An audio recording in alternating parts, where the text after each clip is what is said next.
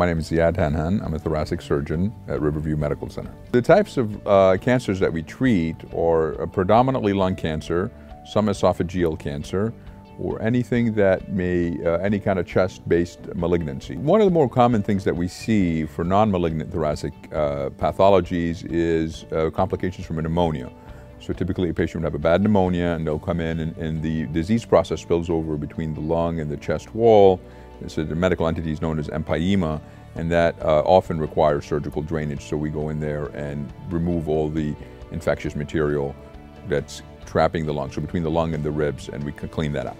On a monthly basis, uh, my colleagues and I review cases in a prospective fashion at Riverview Medical Center. And uh, what we do is we, we all get together, and so you have a, a team approach we do it in a prospective fashion, meaning before the patient is necessarily treated to figure out what's the best approach to do that.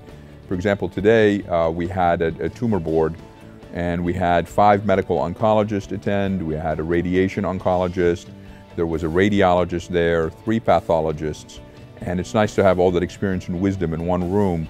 We can all get together and figure out what's best for the patient. For anyone who's thinking about pursuing uh, cancer-related services, uh, the choice of Hackensack Meridian is a solid choice. Uh, there's community-based physicians, uh, long track records in the community.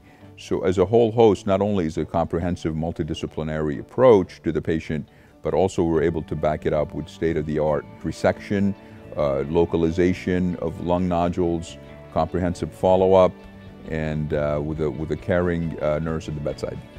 There's a lot of choices when you look at, uh, at, at, cancer services. And if, you, if you look at the community, um, I think Riverview Medical Center provides an optimal blend of truly compassionate care with state-of-the-art uh, technology.